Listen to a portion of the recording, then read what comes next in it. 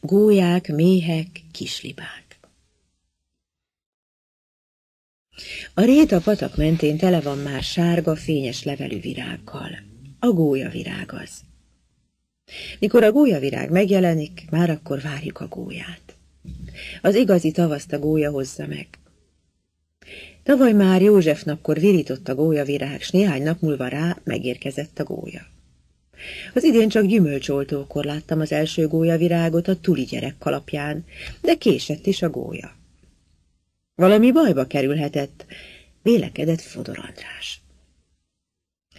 Mert csak egy gólya pár lakik nálunk, és az a Fodor Andrásék házán lakik. Gólya meggondolás szerint Fodor András a legbecsületesebb ember a faluban, és a vadász a leggonoszabb. Ha fodorék járnak a réten, a gólya nem is repül föl a vízből, csak éppen, hogy rájuk tekint, de ha a vadász megy arra, bármilyen messze is jár ő tőle, ilyetten kanyarodik föl a magasba. Az nem is jó ember. Villámlani tud meg mennydörögni. Hát egy napon hallom ám a veres gál gyerek hangját, amint kiabálja az ablakom alatt. A gólya! A gólya! Hát csak ugyan itt a gólya. A nyakát meg a lábát hosszan elnyújtva, lassan és méltósággal kereng a magasban.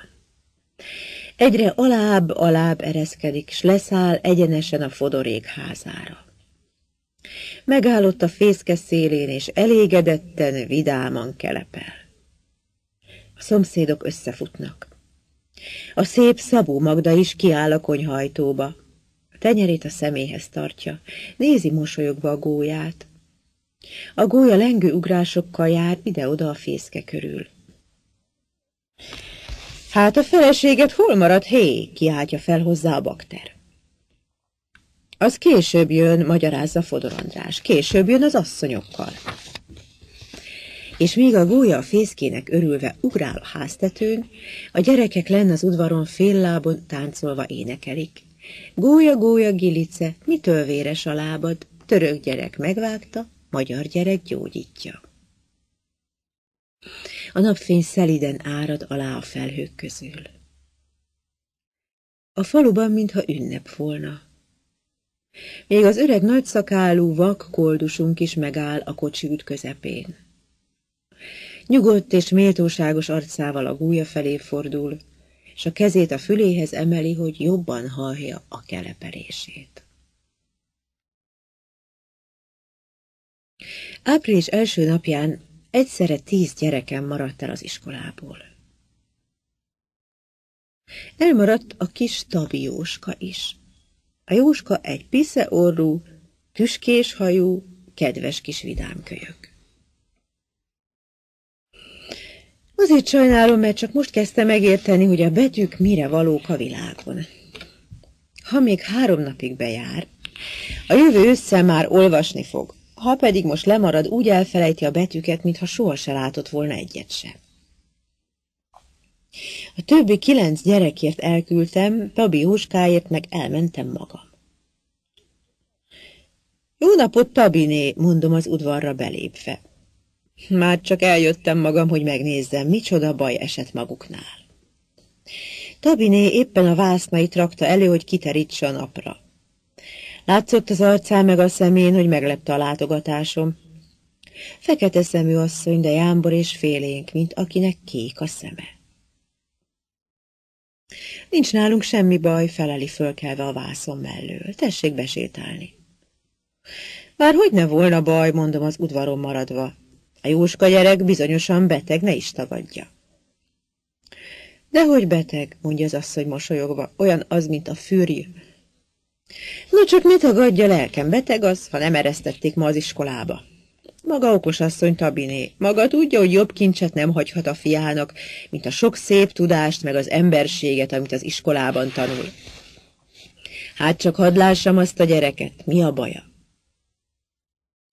Tabiné erre még pirosabbá válik, kezét dörzsölgeti, a fejét szégyellősen oldalt hajlítja. Hát bizony, lelkem tanító uram, elküldtem ma Jóskát liba legeltetni, s mentegetőzve teszi hozzá. Nincs több gyermekem, tanító úr, aztán a libáimnak most már legelő kell. Hát tudom én a szegény Tabiné, hogy a hány liba kétszer annyi forint ősszel, és hogy maguknak kell az adóra. De látja lelkem, most már csak egy hét, aztán meg lesz a vizsgálat. A Jóska gyerek esze meg éppen most indult kinyílásnak, mint ahogy a rózsa kinyílik angyalom. Aztán, ha most kifogja az iskolából, visszahúzódik a gyerek esze, mint a csigabiga lelkem, aztán előse jön megint egy esztendeig. Szívesen látom galambom a vizsgálaton. Délután már megint ott ült a kis pisze eleven szemű gyerek is az iskolában. A haja úgy állott, mint egy csomó zsindejszeg, és meg volt mosdatva, mint valami királyfi.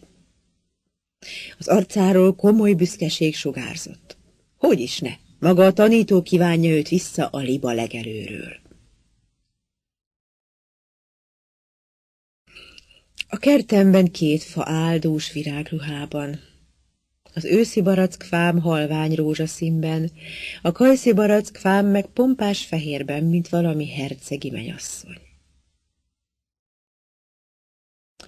A többi fa is mind rügyezik, bimbódzik.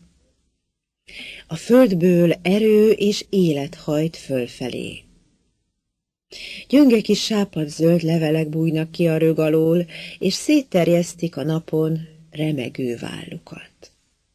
Élni és lélegzeni óhajt minden, mert a fa is lélegzik, és érzés van benne. A virágzó szép barackfáim is lélegzenek, éreznek, sóhajtanak, remegnek. Mintha tudnák, hogy a pompájuk szép, és hogy a nap őket nézi. Mi kedves a napfény, mi gyönyörű az élet. A virágokat méhek döngicsélik körül, ringatóznak a levegőben virág alatt, virág felett. Bele-bele szállnak a virág mélyébe.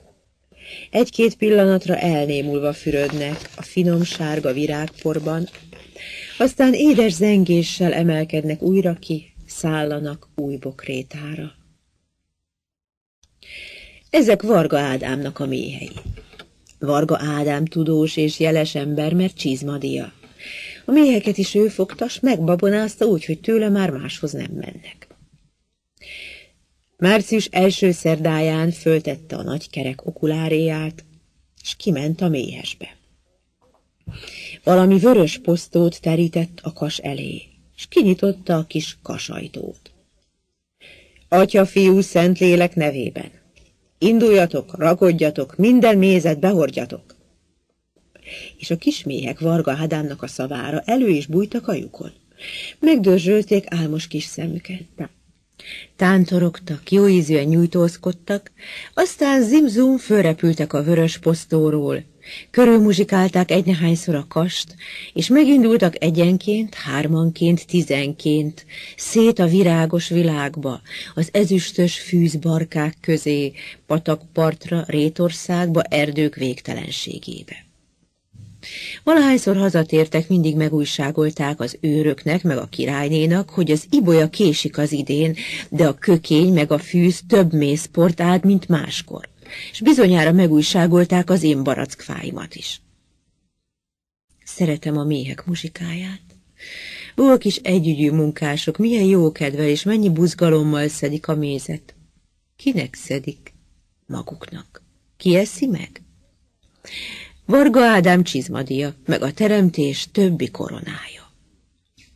Mennyi igyekvés van ezekben a kis szárnyas bogarakban. Mennyi gond az nekik, hogy merre, hol keressék a frissen nyílt virágot. Milyen sietéssel ereszkednek egy-egy most nyílott, mézzel telt virágcsoportra, és ciperik haza mély lassú repüléssel az édes kis terhüket, egy-egy századrésznyi picinyét egy csepp méznek. Talán az egész napi munkája sem több egynek-egynek egy csöppenet méznél. S napszállat után a kasnak minden népe elfáradtan hajlik pihenő alvásra. De szeretem a munkájukat nézni és a muzsikájukat hallgatni. Ahogy körüllengik az én virágzó fáimat, azt gondolom, templomban vagyok. A két fa, két menyasszony, és a méhek Istennek apró muzsikusai. Fölülről lemosolyog a nap nyájas világa, és a méla csöndben ezernyi fűszál hallgatja velem, a méheknek hullámzó méla szent zenéjét. A kertek alján zöld pázsit, és a zöld pázsiton apró sárga libák. Éppen olyan a színük, mint a láncvirágé. Mintha a láncvirág megnőne nagyra és gömbölyűre, és egyszer csak elkezdene két piros lábon járni. Még a pihéjük is olyan, csak hogy finomabb. A libák előtt Tabi Jóska gyerek heverész, meg a kis vasrozi. No, nagy feladat ez. Királyság. A király Tabi Jóska, a királyné meg vasrozi. Koronájuk is van pitypangból, a népség pedig a libák.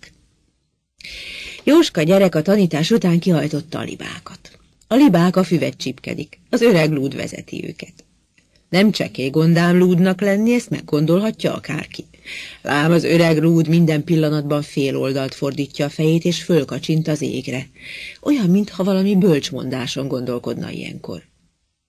Pedig nem azon gondolkodik, hanem a héját vizsgálja, hogy nem kóvályog-e a magasban. A két gyerek meg is bízik benne. Összeülnek a fűben egy cserebogár mellett, amelyik most bújt ki a puha földből. Annak segítenek. Fűszálakat raknak eléje, hogy kimászhasson. A kis ostoba, mogyoró színű cserebogár bizalommal fogadja a segítséget, fölkapaszkodik és mászik, mászik a fűszálon fölfelé. Aztán meg a Jóska gyerek ujján még feljebb. Egyszer csak szétnyitja gyönge kis barna szárnyait. Fölül a két keményet, alul a két finom fátyol szárnyat, és brim-brum halkbúgással tova repül. A két gyerek bámulva és tetszéssel néz utána. Jóska legyűri a kalapja szélét, hogy a nap a szemébe ne süssön. Aztán, mikor már a cserebogár elkeringélt a messzeségbe, a két gyerek vékony cérna hangon nótába fog. Zápoly sülyű eső, hujamados ededbű, bojdott tajan, catén vadott ededű.